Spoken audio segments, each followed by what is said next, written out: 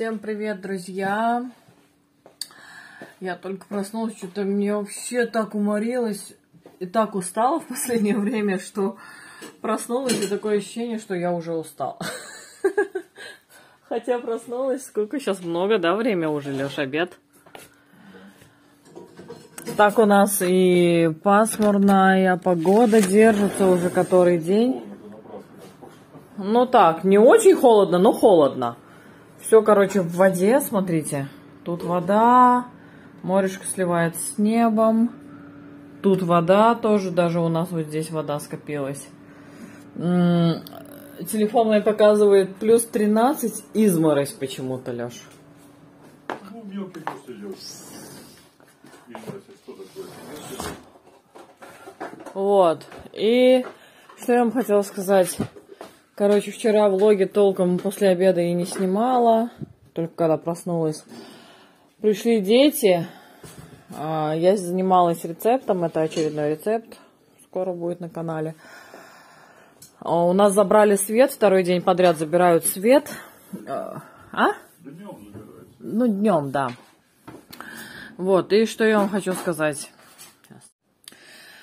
А вчера, когда я уже была на этапе середины съемки рецепта, Миша заявил, что ой, мне же надо делать математику. Время было около 9 вечера. Но они вчера еще на тэквондо ходили, поэтому домой пришли в 7 часов, пока поужинали туда-сюда. Вот. А часов в 9 он сел за математику. Я думала, ну, всегда говорили, что в турецких школах задают мало. Но мне так кажется, я могу ошибаться, но мне так кажется, что это было итоговое тестирование по итогам полугодия. Потому что скоро у турецких детей будут каникулы. Сегодня на момент съемки 12 января. Скоро у турецких детей будут каникулы, и, соответственно, э перед каникулами, ну, все дети проходят аттестацию, да, итоговая аттестация. Мне кажется, эти тесты, что ему дали в количестве 20 заданий на а, А4 такие листы на печатной основе, короче, типа как, как рабочие тетради у нас в России, да, а, на печатные, печатные, вернее, задания, и там нужно было внутри прямо этих листочков писать а, двойной листочек, как будто бы размером как А4. Из двух сторон получается 4 страницы с заданиями в количестве 20 заданий. Короче, уф, мы подключили наших турецких друзей. Мы решали все это дело. Миша уже все говорит, я не могу, я хочу спать. Мы его в 12 часу отправили спать. Когда я спросила, эти задания нужны на завтра, он говорит, да. Мы его отправили в 12 часу спать. А наш турецкий друг уже говорит, слушай, наверное, вам лучше ехать в Россию. Ему, короче, тоже тяжело. Алексей смеется и говорит, ха, говорит, после первого домашнего задания, говорит, сдался, говорит, все, езжайте в Россию. Слабак.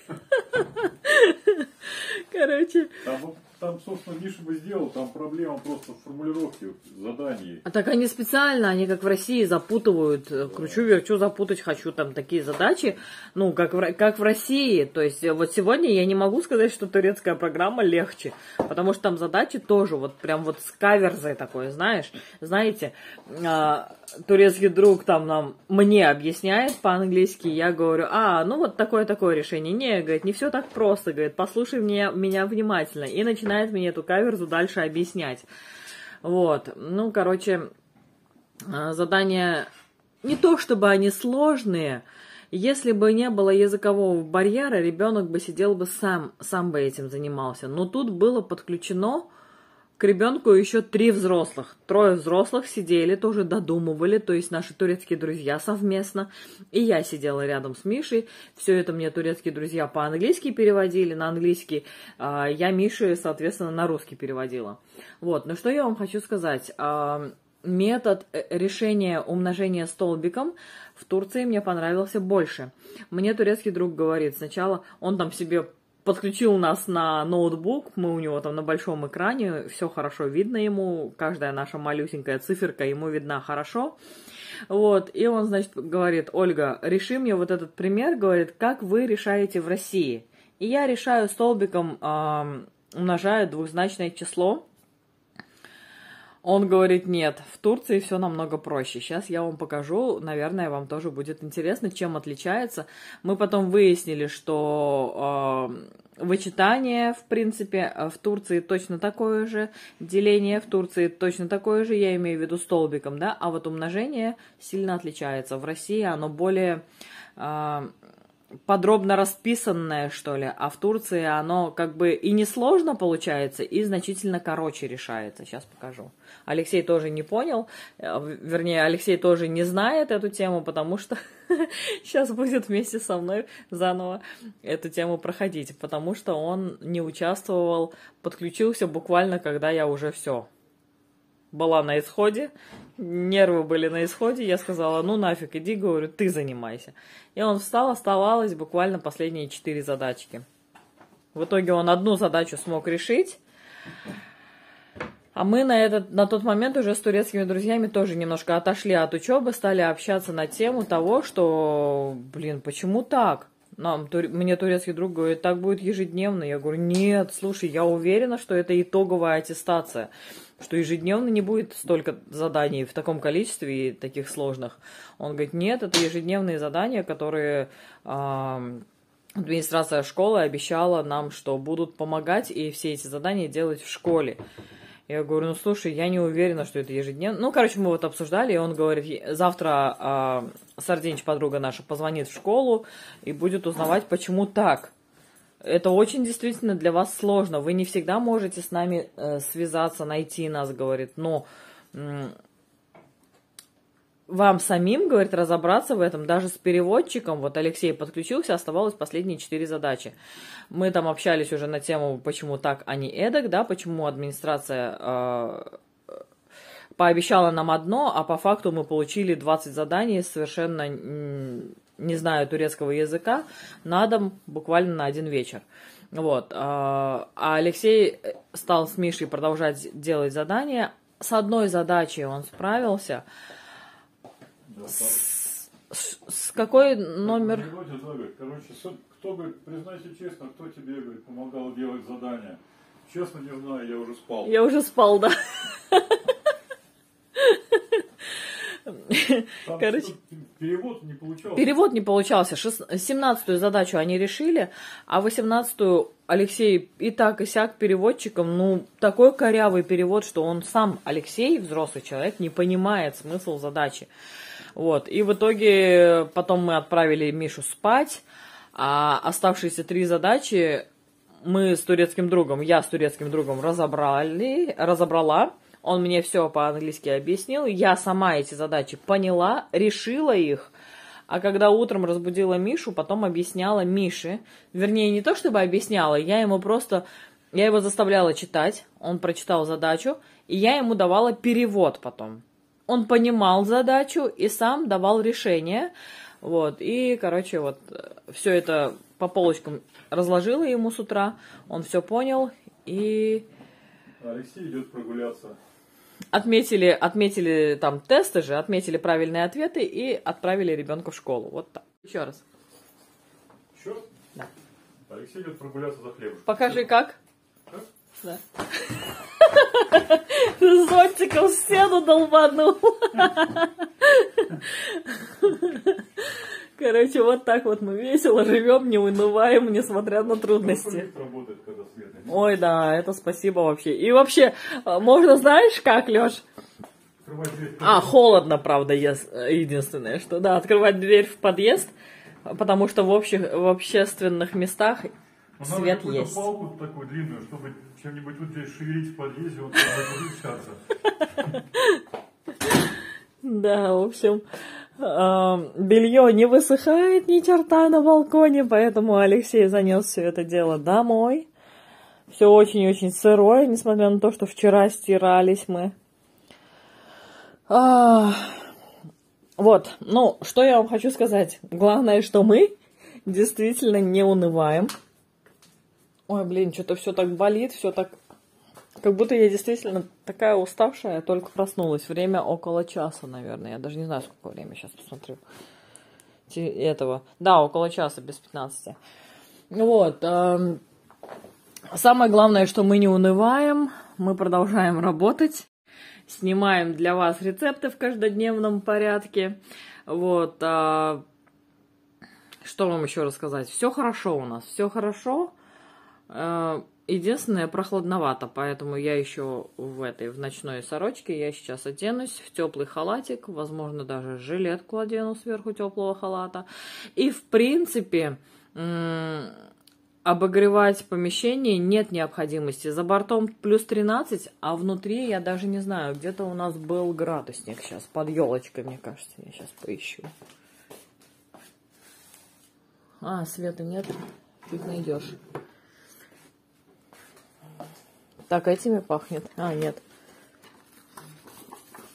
Алексей распечатал заявление на отчисление. А, я вам себя Алексей распечатал заявление на отчисление, но никак не отправит, ё-моё, в русскую школу.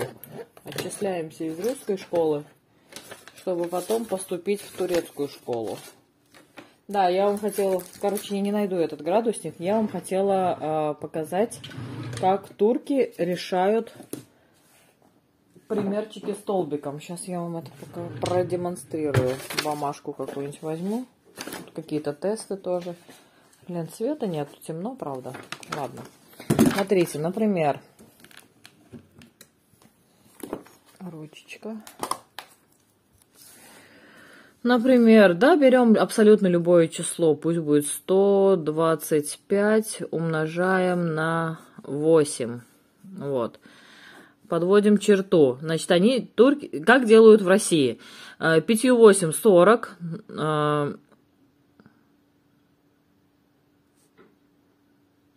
Так, что-то я сама забыла. Да. Ноль.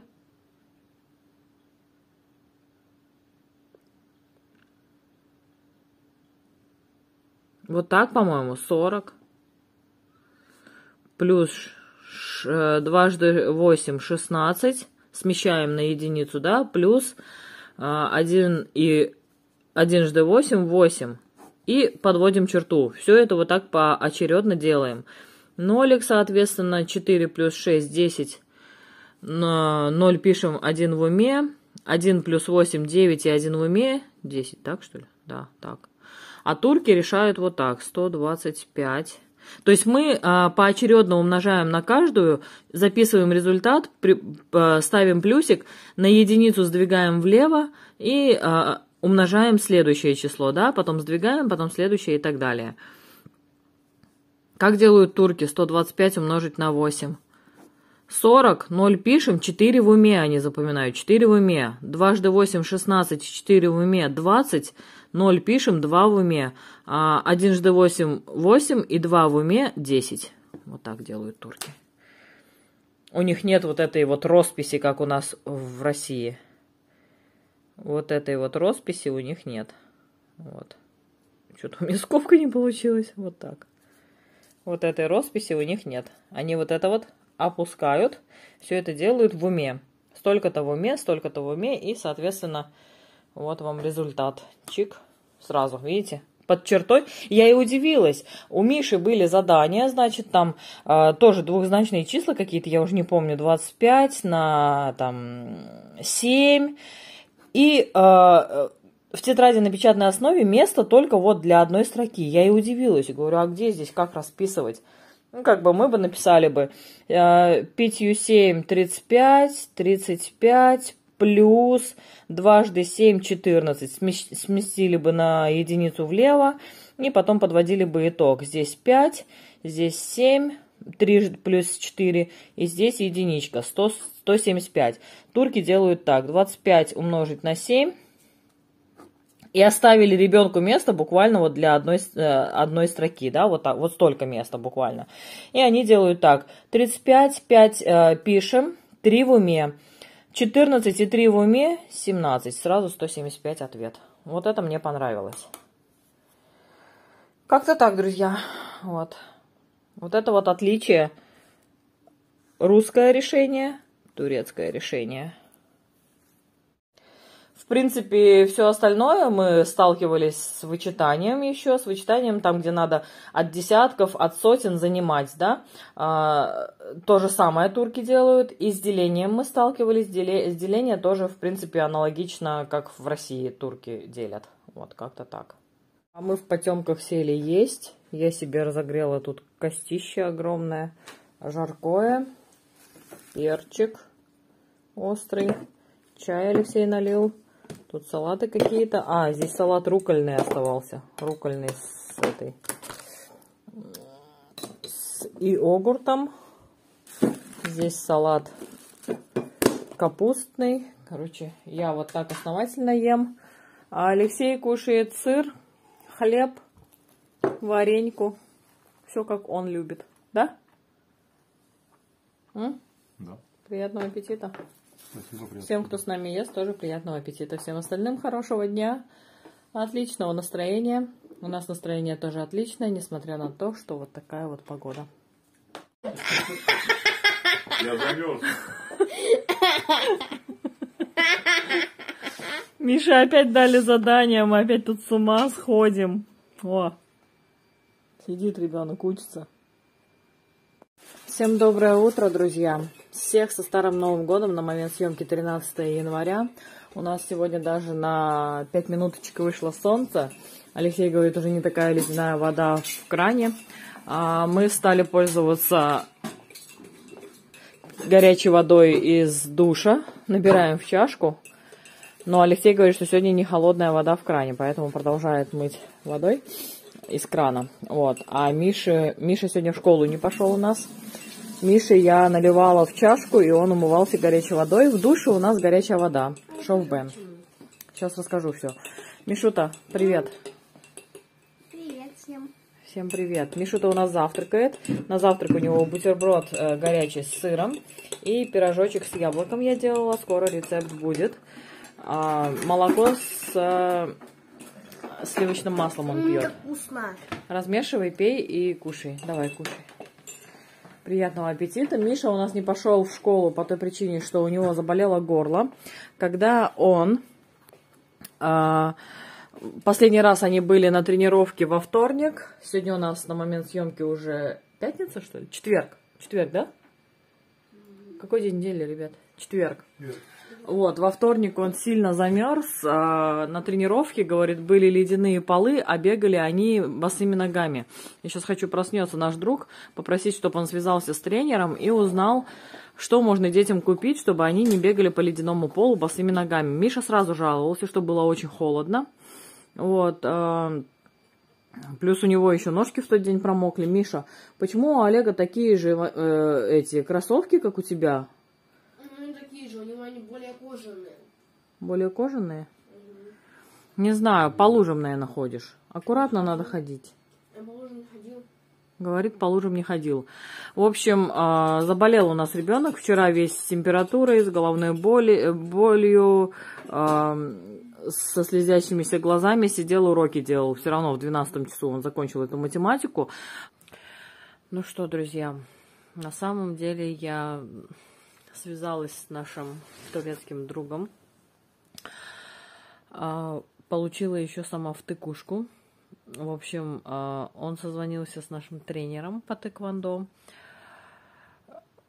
который сказал ему, что а, на полу у нас эти маты. А о каком вообще холоде идет речь? Ни черта не холодно.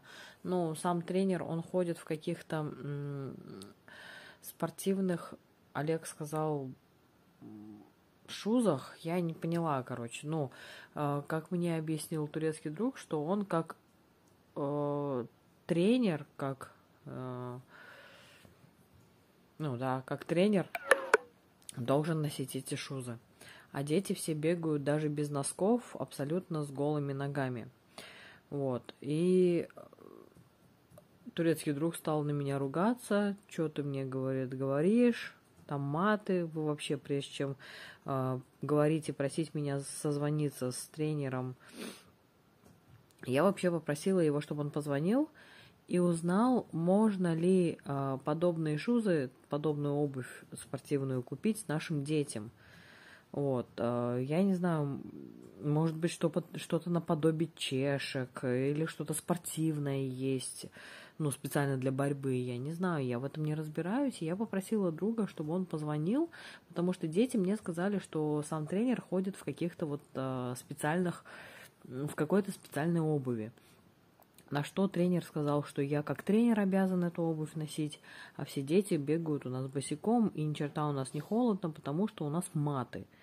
Вот, о чем вы вообще говорите?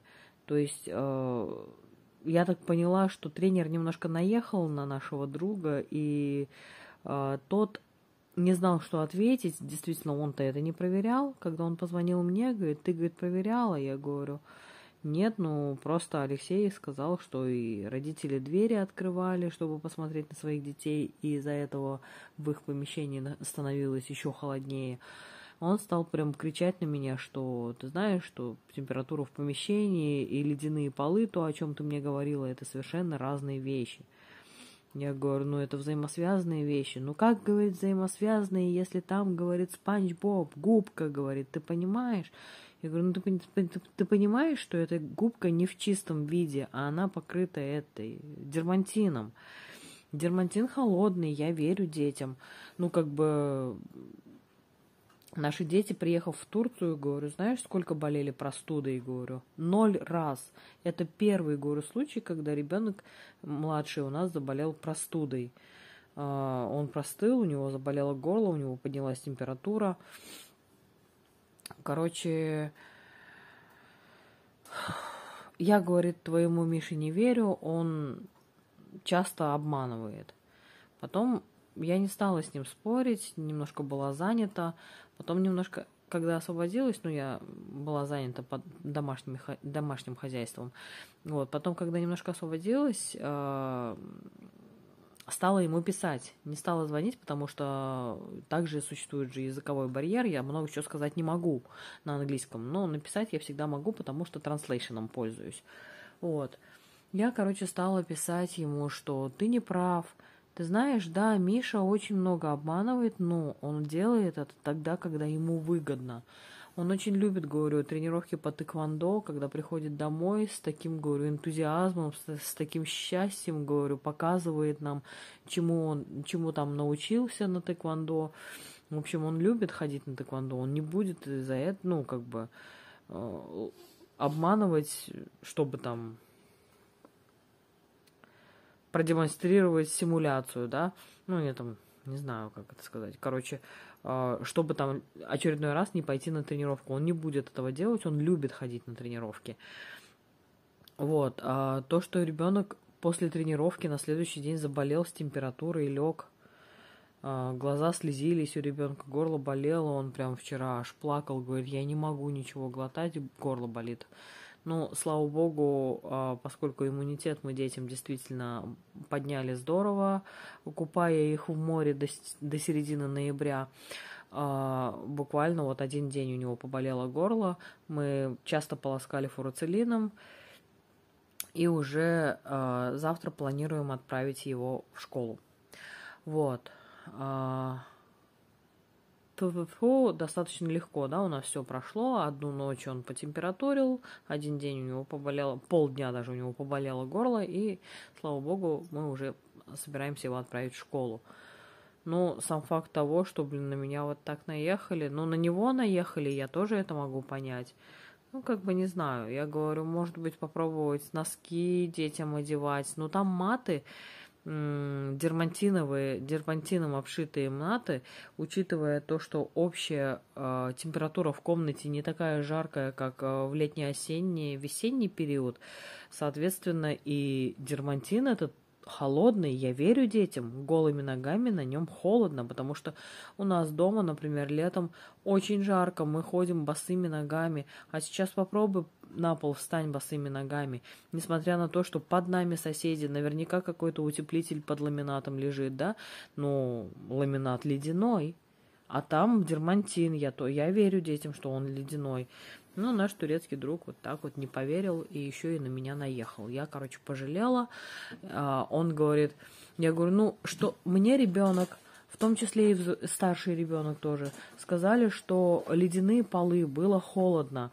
На следующий день у меня ребенок заболевает. Я как мать что должна, говорю, была делать, говорю.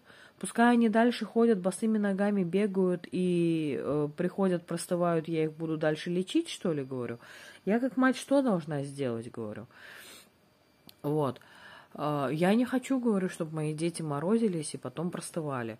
Он говорит, в таком случае не отправляй вообще никуда своих детей, и они будут у тебя в целости и в сохранности, и будут, не будут болеть. Я говорю, слушай, ну это самое лучшее решение, ты просто лучший дедушка, говорю. Э, э, Best, the best of the best, говорю. Вот. Он говорит, это лучшее, что я тебе мог предложить. Ну, так и поговорили. Короче, я говорю, ладно, все, забудь, я буду думать сама, что делать. Я сама у Алексея спрашиваю, как нам лучше поступить. Может быть, не ходить на тренировки мы тоже не можем. Дети счастливы от этих тренировок. Может быть, говорю, носки одеть. Алексей говорит, ну, маты, они достаточно скользкие, дермантинные, дермантиновые. Они могут подскользнуться. Я, короче, не знаю. В субботу у нас очередная тренировка. Сегодня на момент, когда я снимаю это видео, четверг. Послезавтра оч- очередная тренировка. А, Погода не предвещает никаких потеплений. Поэтому, как быть, я не знаю. Напишите в комментариях, может быть, у вас есть какие-нибудь мысли. Я все-таки попробую носки. Пусть они бегают аккуратнее, пусть они учитывают, что у них скользкие носки на ногах, но тем не менее все равно ноги будут в тепле хотя бы. Как-то так, друзья. Я буду уже заканчивать этот влог. Если видео понравилось, ставьте обязательно пальчики вверх, подписывайтесь на канал и нажимайте на колокольчик, чтобы вам сообщали о наших новых видео. Пишите комментарии, нам очень приятно с вами общаться. Все абсолютно комментарии мы читаем. Всем спасибо за внимание, всем пока-пока, приходите еще, увидимся снова.